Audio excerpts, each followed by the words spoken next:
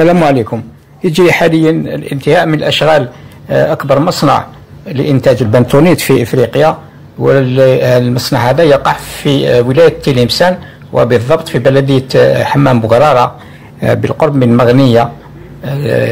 وهذا المصنع نتاع البنتونيت كما نعرف البنتونيت هي مادة طينية تستعمل في حفر الآبار.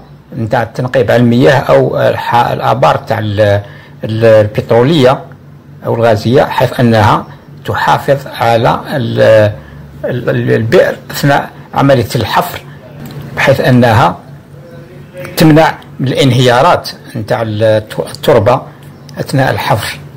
اذا هذه المادة الموجودة بكثرة في منطقة مغنية.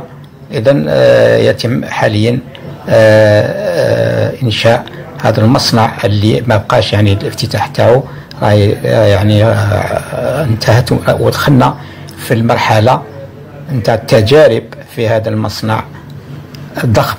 اذا نخليكم تتابعوا ما تبقى من الفيديو. السلام عليكم.